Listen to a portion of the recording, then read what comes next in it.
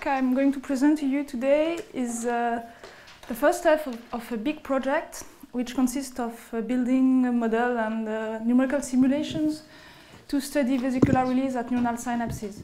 So the first step is about asymptotic analysis of the mean first passage time of a Brownian particle to a small hole. Okay, so this, the, I will first present a short overview of uh, synaptic transmission at, at chemical synapses, very short, no, no problem. And then uh, I will show you the asymptotic analysis of narrow escape time.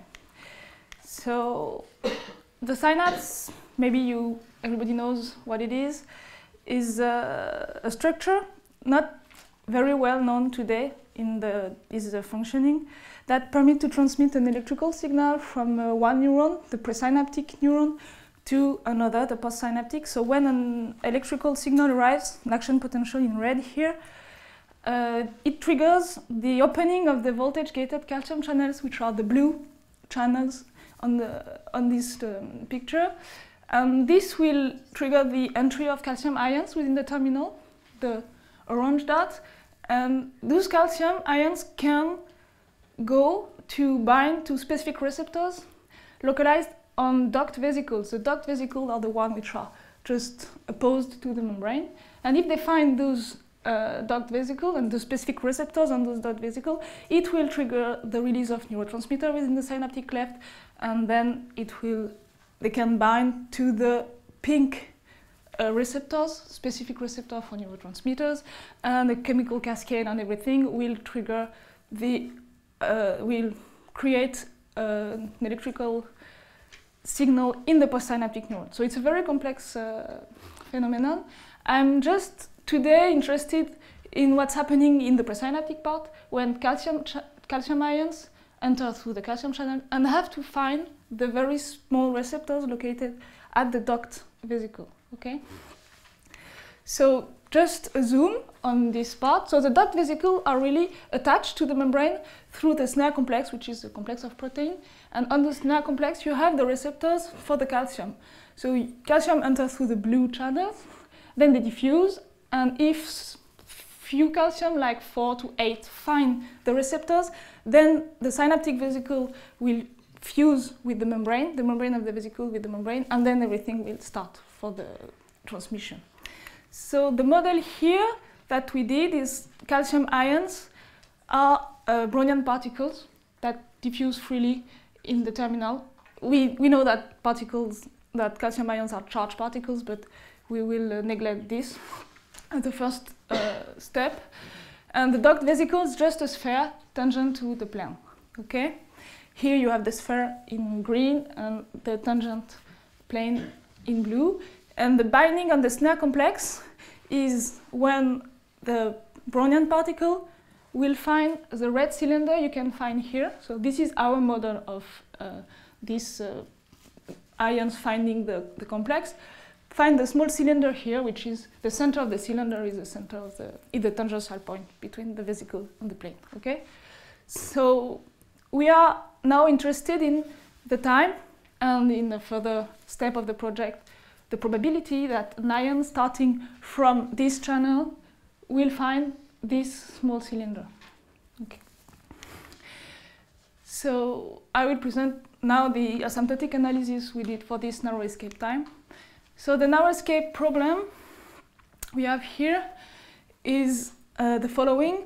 A Brownian particle is uh, described by a stochastic equation x dot equals square root of 2d uh, W dot, D is the diffusion coefficient of the particle, and W dot is white noise.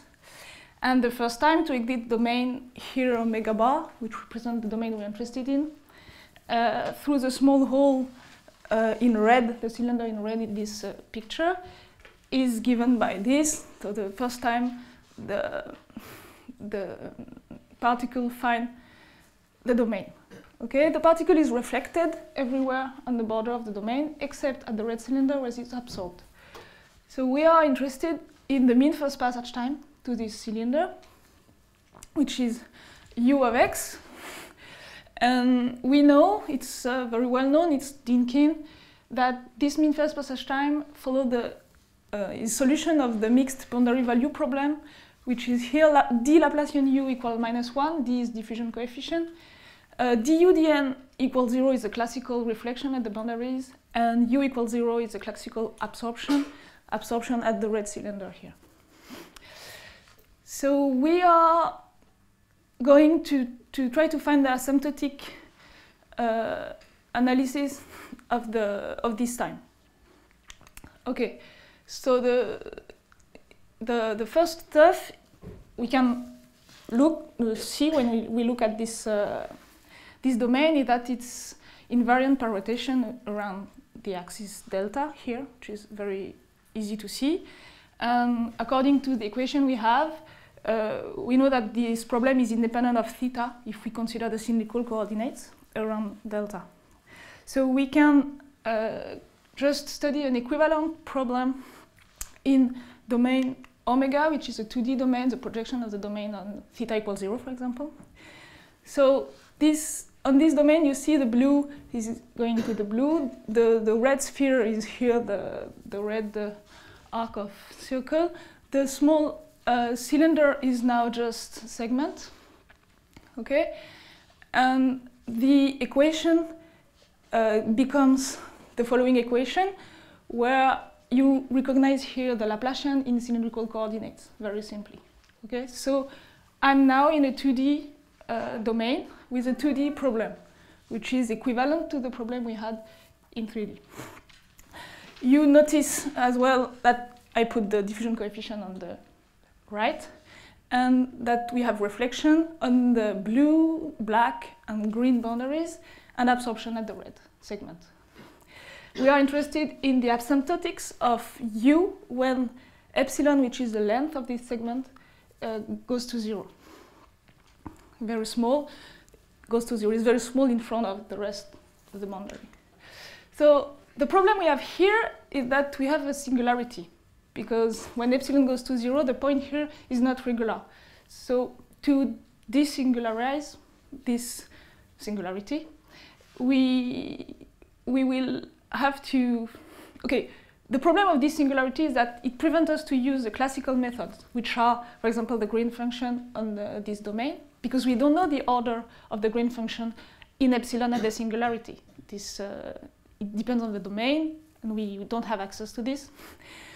The other method, which is very classical, is matching asymptotics. So we try to find a solution near the cusp, near the hole. We try to find a solution in the domain we try to match, and then we can obtain something. But here, because of the geometry, it's not possible as well. So the idea is to desingularize the singularity.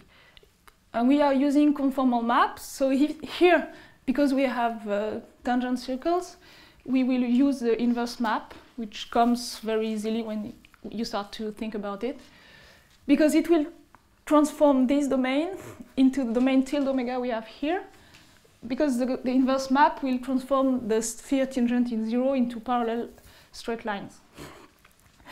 Uh, you notice that the small hole here in red is going to a straight line here, and you know that inverse maps are putting spheres, uh, circles into straight lines and straight line into circles.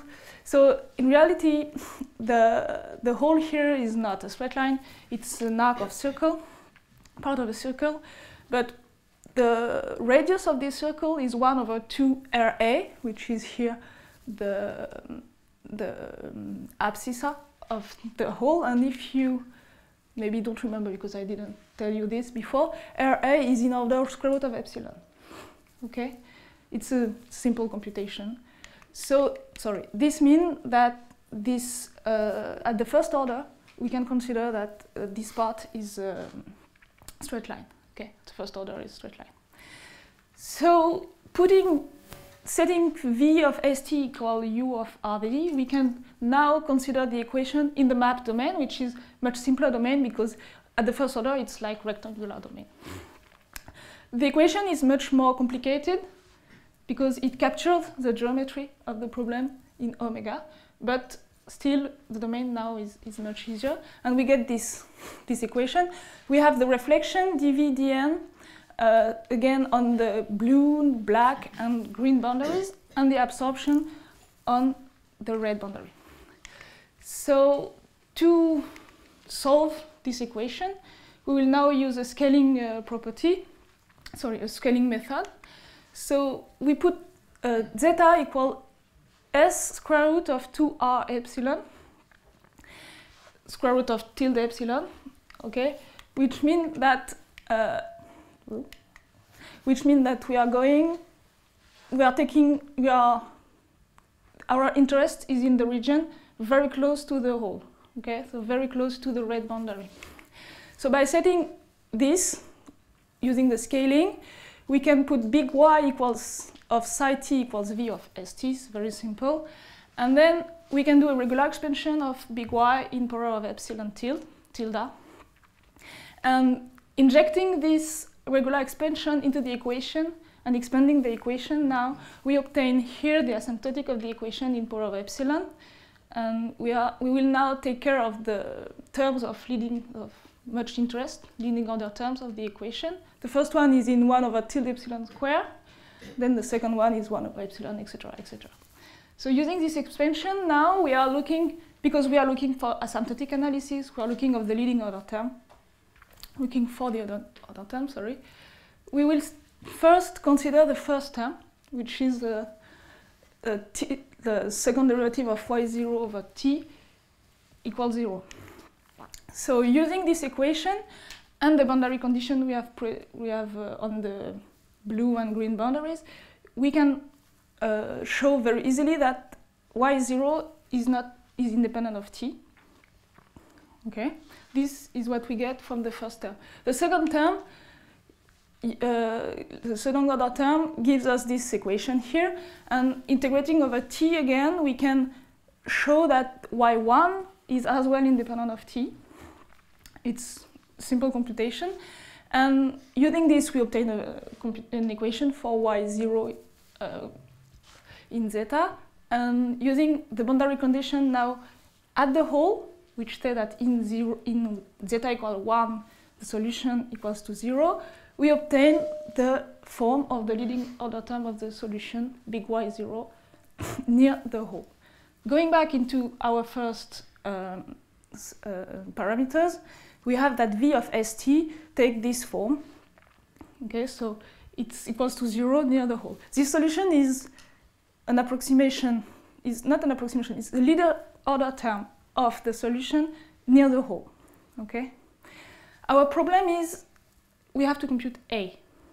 So usually you use the rest of the parameters, but this approximation of the solution is not good far from the hole. We cannot use the reflection, the, the last, last uh, boundary condition we get. So to compute A, we will use the divergence theorem, which says that the integral of uh, bar omega of Laplacian mu is equal to the integral of the border, very classical equation. So this, the Laplacian u equals minus tilde, the volume of tilde omega over d just comes from the equation, d Laplacian u equal minus 1. And the other part, because we have reflection everywhere except at the hole, say that this integral on the border is exactly the integral of the solution at the hole. It's good because we have a solution at the hole. So we can then, using our first order term of the solution at the hole, give uh, this equation and then find A. And we now have um, the first order term, the leading order term of the solution in epsilon uh, for the, the whole domain. So to get uh, tau, to get the mean first passage time, sorry, we just put the value of A in V of st and then consider when S is equal to 0, when we are far from the hole. S equals to 1 at the hole, S equals to 0 for the hole, and we get the mean first passage time for our Brownian particle to the small hole. And in the boundary layer, we also have the leading order term of the mean first passage time, and we know as well the way it behaves.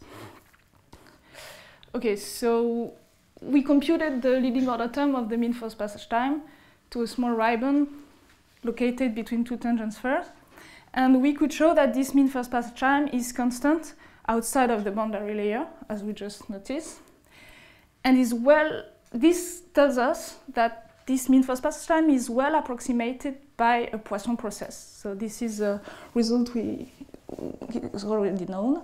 So it means that we can um, we can consider that the arrival of this particle to this small hole is Poissonian.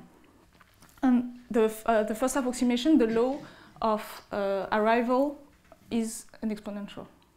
This is uh, very interesting because using this analysis in uh, further development of the project that I don't have the time to present here, uh, we could compute as well the probability when the particles start inside the boundary layer, because here it's, we have the mean first passage time to go to the hole when you are far from the hole, because we said s equals to zero, so it means we are far. What's happening when you are close? The problem is uh, still a, a, problem. So using the same kind of analysis, what we have here, we could compute the probability to reach the cylinder before escaping the domain. Okay, it's the same kind of computation. And using this, we could build a model of the active zone, which is the place where vesicles are located and the calcium channel are located as well, to investigate the influence of the position of the channels on uh, the crowding of vesicle or not crowding of vesicle, etc., etc., on the release probability, which is the probability to have diffusion. So the probability to have four ions that are coming to this vesicle or not. And using this, we could build a model of the um, presynaptic terminal, much bigger with uh, the whole uh, stuff we have over there. And the fact that this mean first passage time is Poissonian is really what is important here in our study because if you want to model the presynaptic terminal, uh, you have a Brownian particle. You, you can do Brownian simulations if you want, it's very simple. Not that simple because the domain is not that fun, but okay, you can do it, but you will wait for hours because of the very small hole you have here and because of the very long time you have to find this small hole. The fact that it's a Poisson process allows you to use simply Gillespie algorithm to say, okay, it's Poissonian, I can at least use Markov chain for what's happening because it's constant. It doesn't depend on the position, so it doesn't depend uh, on the time. And it's what we did in uh, the following of this project. And I wanted to show you this because it's the very first step, but it's everything is uh, is uh, going after that because we could show that the mean first pass time is independent of the position and that this time is uh, Poissonian time. So this work was uh, published in uh, SIAM Multiscale Modeling and Simulations. So I want to thank just my PhD supervisor David Holcman and my lab mates and the organizer of this uh, conference for giving me the opportunity to present uh, my work today. Thank you.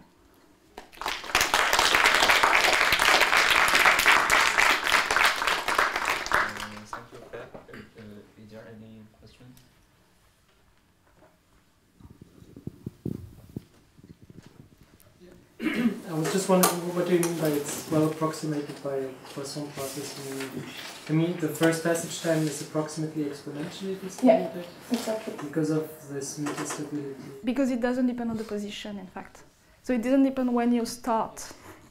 So it's, uh, yeah, it's, it, you have the, the mean, the variance is the same, and it's well approximated. Any other questions? Well, if not, uh, let's thank the speaker again.